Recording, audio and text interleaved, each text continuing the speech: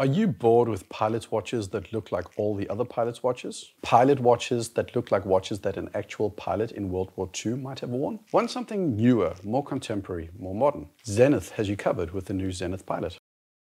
I never really liked the previous lineup of Zenith watches. There were a multitude of reasons for that, the short version being I felt they were ugly. The Pilot Type 20 at 45mm was a bronze monster of a watch with a huge crown that dug into my wrist, had weirdly rounded lugs, cathedral hands, and large overpowering numerals in a green hue which to me was just too much. It was a pilot's watch. It had everything a pilot's watch should have. Size, legibility, ease of use, but pretty it wasn't. Likewise, the Pilot Chronometro with our bezel gradated brown orange dial and chrono subdials. It was just visually like watching a stereogram in my eyes. Zenith had a lot of work to do to convince me that they could make an appealing pilot's watch. As part of their consistent revamping of their lines and repositioning of the Zenith brand, the time has now come for the Zenith pilot's watches and the Pilot 2023 edition.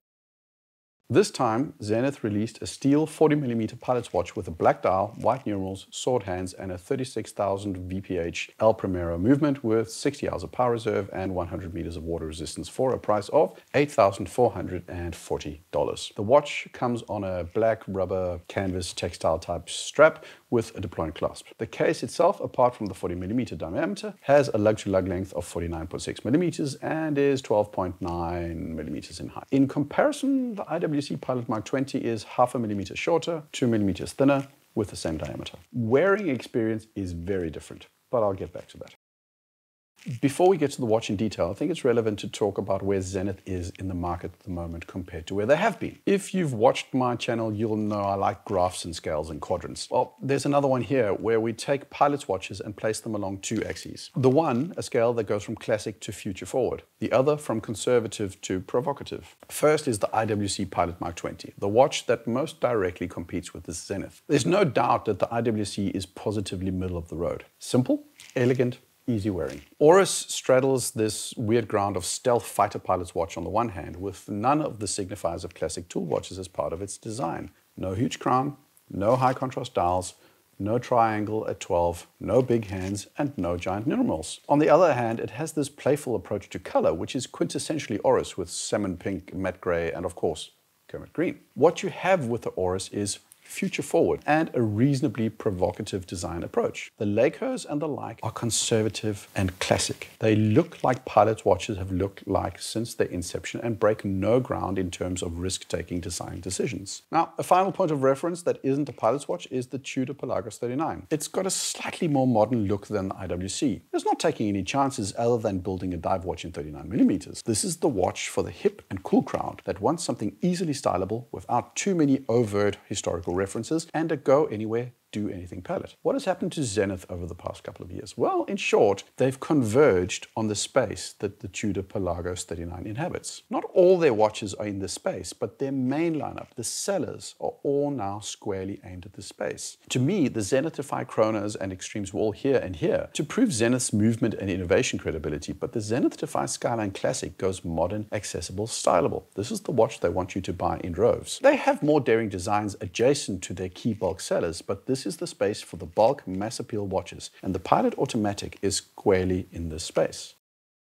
Well, it depends. Let's go through the components individually. Where IWC, Oris, and others opt for a steel bracelet on their pilot's watches, Zenith goes for this rubberized Cordura textured style strap, which to me is very much in keeping with the way I think of a true pilot's watch. In my mind, I see leather, bund straps, or other textiles as not only more utilitarian in aesthetic, but also more practical when you want to get this watch on or over your flight suit. Recently, we've seen AP with the code 1159 releasing watches on textured style straps. Pateks has done the same with the 6007. Nomos has been releasing watches on straps for ages, and the Moonswatch, albeit in a very different price bracket, also comes with this kind of textile rubberized strap. I've been thinking a lot about where this trend started and why. The answer was essentially in plain sight. Young people, the people that wear this watch, the Apple Watch, have grown up knowing that watches would come on rubber or textile straps. If your first watch was a Fitbit, a Garmin, or an Apple Watch, the transition to a real watch is going to be shaped by what that wearing experience was. And there, these rubberized textured straps are what you know and associate with a wristwatch. The case has rounded curved lugs with polished beveled edges for contrast and visual variation. The case is laterally brushed, as is the bezel. No radial brushing, but rather this is end-to-end -end vertical brushing. The bezel itself is quite substantial and it lifts the otherwise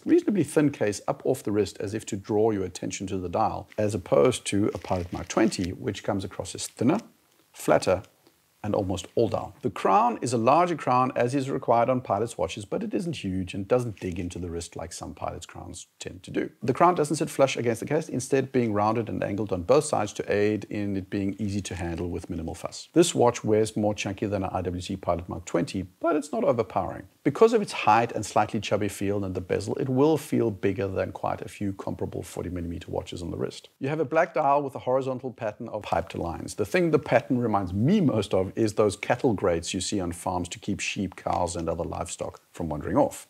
The numerals are large and white, but not overpowering. The cathedral hands of the former models have thankfully been replaced with more contemporary sword hands and a pointer seconds hands, which I think is a way more toned down look compared to the pilot's watches Zenith previously made. The date window sits at 6 o'clock, making for a symmetrical design. Personally, I don't always like the use of huge numerals on a dial, but they are sort of par for the course when making a pilot's watch. This font, however, is without serifs and other classic design choices, opting for a more ultimately plain, easy on the eye font. The horizontal white bar at the six o'clock position is something that you notice. I'm not sure if it's good or bad and don't have the you know mental acuity to imagine what the dial would look like without it, but it's an unusual design choice. Also, the Pilot logo, which I think is there for trademark reasons, is a little bit on the nose. Overall, the watch looks good. It has no design disasters. It's well made. It has a lot of cool details without going overboard. Whether that makes it good, well, that depends on how you look at it.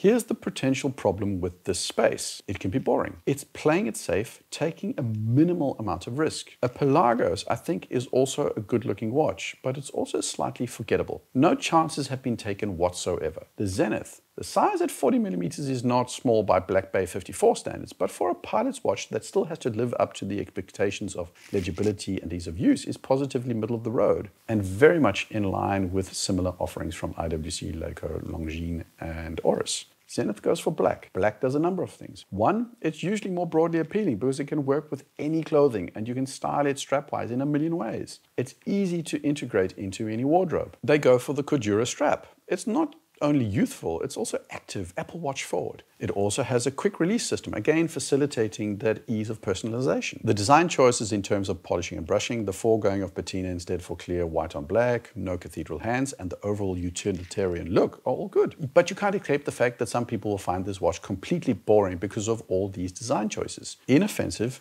bland, careful, risk averse. There are those that will look at this watch and find the inoffensiveness, the simplicity, the risk-adverse design choices and find this watch to be boring in the extreme. And I can relate to some extent. It doesn't do old school and classy like an IWC. It doesn't do risk-taking like a lime green ProPilot X. To the collector, also it has no quirk in its design that will endear it to seasoned collectors. Like the Pelagos 39 also is boring. To some, so is this watch potentially.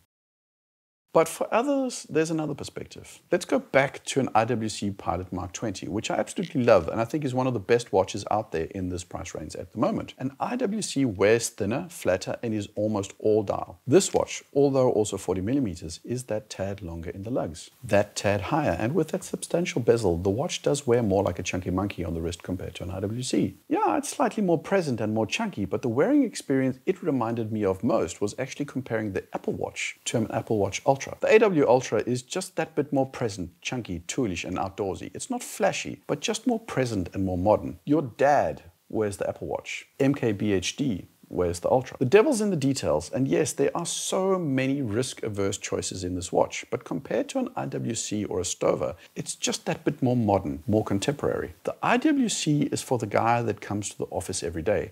The Zenith is aimed for the cool, hip remote worker. This is flexibly modern to many, and like the AW Ultra, it's that bit more rugged, more serious, more keeping it real in look and feel.